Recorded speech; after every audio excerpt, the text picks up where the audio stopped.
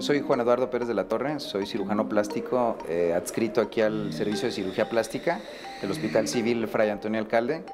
Quien aborda la reconstrucción del cráneo es el neurocirujano. Nosotros como cirujanos plásticos tenemos pues, la capacidad de manipular ciertos materiales para lograr hacer reconstrucciones con diferentes tipos de eh, órganos y de materiales. ¿no?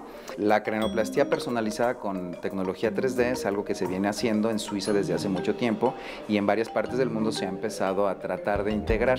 Aquí en el hospital no contamos con un laboratorio para hacer esto, este es un laboratorio que montamos mi compañero, el doctor Javier de la Peña y un servidor, eh, debido a la necesidad de hacer reconstrucciones de cráneo porque las opciones que le ofrecen a los pacientes no son unas opciones que nos parezcan armónicas, adecuadas, estéticas. El neurocirujano muchas veces lo que hace es salva la vida y trata de preservar la función y la estética queda muchas veces de lado.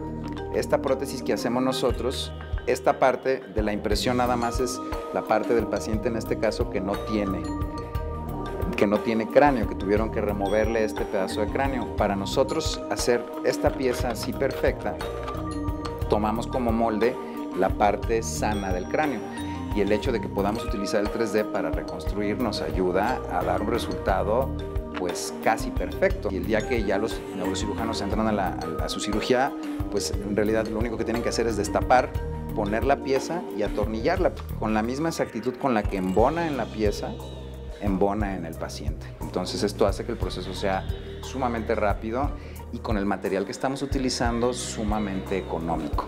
Sobre todo para que sea accesible para los pacientes de escasos recursos. Y a la par que salen estos casos, van saliendo otra serie de casos porque el 3D no nada más se aplica al cráneo, lo podemos utilizar en otro montón de procesos que estamos por ahí ya investigando.